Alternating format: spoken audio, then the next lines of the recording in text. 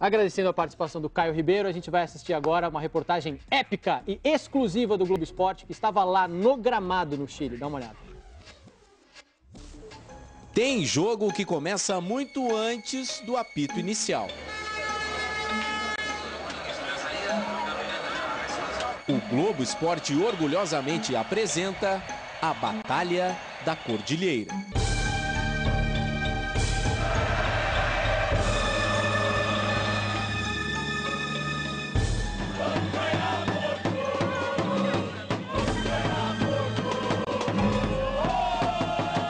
O Palmeiras começa marcando no campo do Colo-Colo e a pressão dá resultado.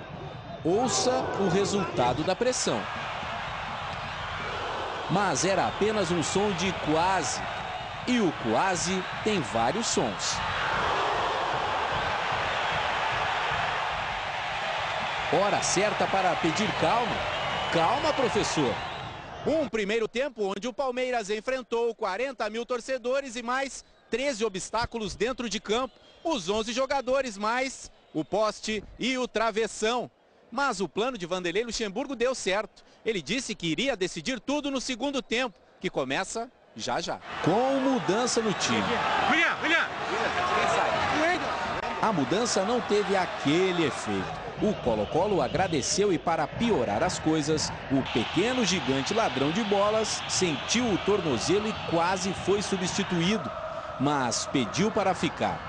E salvou o Palmeiras antes de perder a luta contra a dor no tornozelo. Sem Pierre, o time ficou mais exposto, quase desesperado. Marcão, que usa o mesmo penteado do índio, que é o símbolo do Colo-Colo, recebeu o cartão amarelo e dois minutos depois foi expulso e a situação ainda piorou. Diego Souza tentou uma bicicleta salvadora. Depois da queda, ele ficou sem forças, pálido, enjoado, substituído. Até quem precisa pensar em tudo, estar calmo, se desesperou.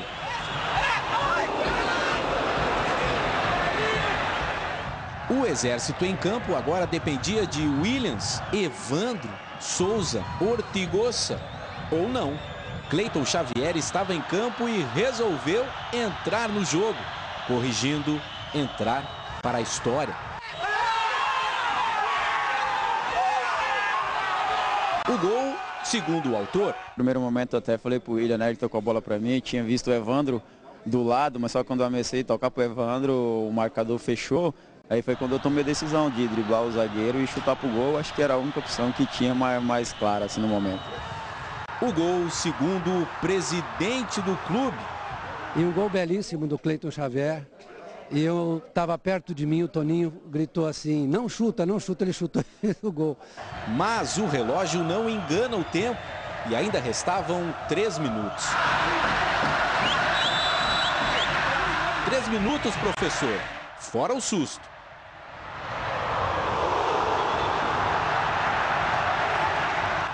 acabou. Aos vencedores, a festa. Primeiro a gente vai ter frutos do mar, salmão, peixe.